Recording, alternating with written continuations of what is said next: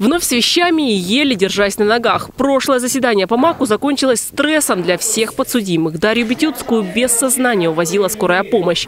Больницы откачали, привели в чувство и отправили домой. Сегодня она и другая обвиняемая в зале. А вот Сергея Сиренко доставлять не стали. После пятничного эмоционального срыва ему дали возможность взять слово по видеосвязи. Сиренко, вам предоставляется последнее слово. Я, я понял ваша честь. Я буду выступать последним словом только в судебном заседании, а не по телевизору, не видя ваших глаз. У меня болит голова, мне плохо. В судебном заседании объявляется перерыв для уточнения состояния здоровья.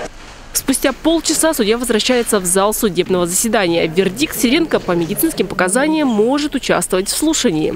Я не могу участвовать в судебном заседании. У меня болит и кружится голова, у меня давление более 170. Если вы считаете, что человек с давлением 170 может адекватно оценивать ситуацию, тогда хорошо, давайте э, выносите свое решение. Я сказал все. Суд удаляется в совещательную комнату, из которой я выйду 22 октября в 10 часов. Адвокаты говорят, то, что это существенное, грубейшее нарушение. Она не могла решить его последнего слова, так как в стадии прения она могла это сделать. Последнее слово, но в принципе не, не лишаемо. Они прям, не знаю, были дико удивлены, что она вообще так поступила.